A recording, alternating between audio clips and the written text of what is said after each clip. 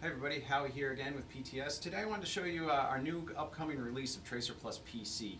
Now in the past you guys have seen that we run Tracer Plus on Android devices, iOS devices, but we're soon to release a new version of Tracer Plus that actually runs on a Windows PC. And it'll allow you to actually deploy the same applications you've developed for both for all of your mobile devices to the PC platform. Um, now I'm going to kind of show you that process here. So what I have here is an Android device, a Zebra TC20. Uh, I have an application for delivery tracking available on my uh, Tracer Plus desktop. And I'm going to go ahead and deploy that to the Android device here. So what I'll do is I'll just hit F7. This will then allow me to deploy to the uh, to the handheld. So once the QR code is generated, I'll go ahead and scan it on the Android device.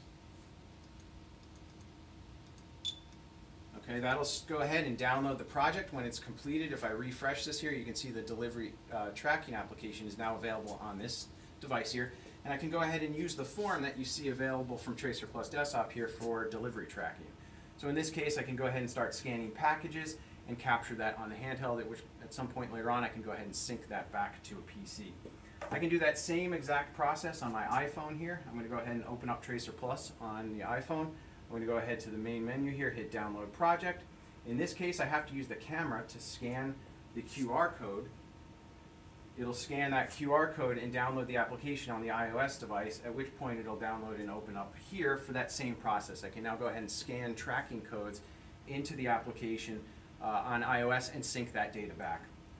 Finally, now for the new version of Tracer Plus, Tracer Plus PC, I can go ahead and open up my application here and the same exact process that we have for our iPhone and Android devices, I can go ahead and deploy it to the application. So I'll just enter in my uh, PC that has Tracer Plus Desktop as well as the project I want to deploy and hit the download button here. It'll download the project. When it's complete, you would just simply hit refresh. And then you can, you're presented with the splash screen of Tracer Plus, at which point you can jump in and then actually use the form just as you have in uh, both iOS and Android.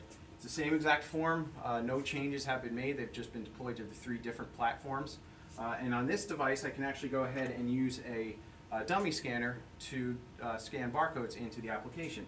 So I can go ahead in this uh, app, select who it's being delivered to with a location, uh, 123 Main Street. then I can jump down to the barcode scanning area here and actually just start scanning barcodes into this application.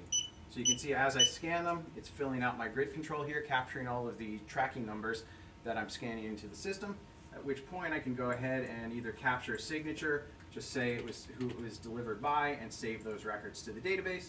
And just as you can on all the other platforms, you can go ahead and view all of this data that's available and scanned into Tracer Plus. And at which point you can sync this back to a backend database. Um, even the same databases that you're using for both of these platforms over here, but you can integrate all three platforms into that same system. So I kind of wanted to give you guys a uh, sneak peek of Tracer Plus PC here, but it gives you all of the functionality you've seen and are used to with Tracer Plus iOS, Android, Windows Mobile, and CE, but now for a Windows-based PC. So I thank you guys for taking a look, and we uh, look forward to sending more updates out for this software in the near future. Thanks, everyone. Thanks for watching. If you enjoy our content, be sure to like and subscribe, and visit our channel below for more.